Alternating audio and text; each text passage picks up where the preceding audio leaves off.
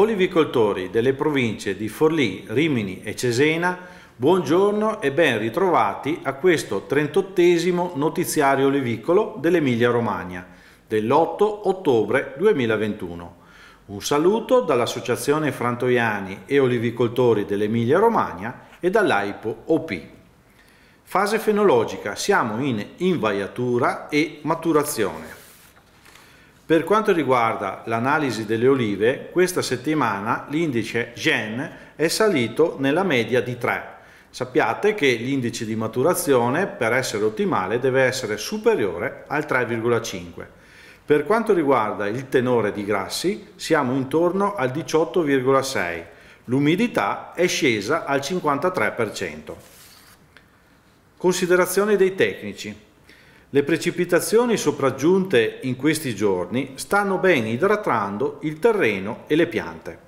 A questo si aggiungono gli abbassamenti di temperatura notturna che scendono a 9-10 gradi centigradi e che tendono a rallentare la maturazione che, come è stato riportato nel grafico che trovate all'interno del periodico, mantiene una costanza di crescita in grassi.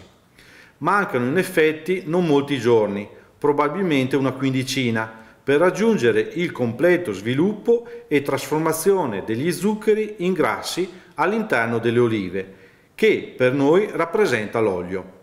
Iniziamo già a raccomandare che le olive, una volta tolte dai teli, vanno poste in cassette della capacità massima di circa 25 kg o in cassoni di plastica, bins, di circa 200 kg di capacità sovrapponibili di tipo forato, sia ai lati sia sul fondo, per una maggiore aerazione del frutto.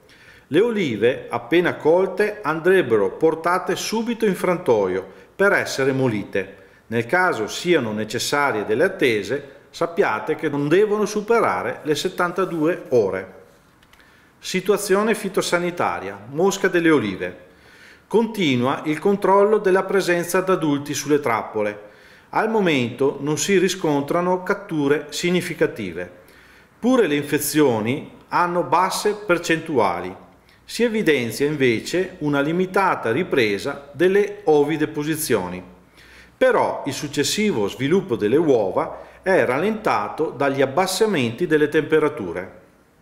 Negli oliveti dove si applica una difesa d'agricoltura biologica e si utilizzano come adulticidi lo spinosad, dopo le sopraggiunte piogge va ripristinata la copertura.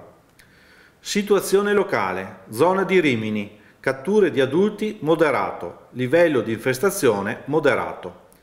Cesena Forlì, catture di adulti moderate, livello di infestazione moderato. Occhio di pavone, lebbra piombatura, la prolungata bagnatura fogliare e l'elevata umidità stanno favorendo lo sviluppo di parassiti fungini.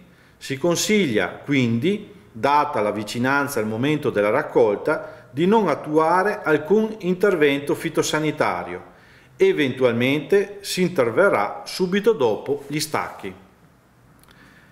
Anche in questa settimana i tecnici sono a vostra disposizione per il calcolo dell'indice di maturazione, sia col metodo Jean sia col metodo FOSS. Per quanto riguarda i periodi e i momenti ottimali di campionatura e i modi di esecuzione, vi invitiamo a verificarlo sul periodico della scorsa settimana. Ed ora un saluto e un arrivederci al prossimo notiziario olivicolo dell'Emilia Romagna. Campagna finanziata con il contributo della Unione Europea e dell'Italia.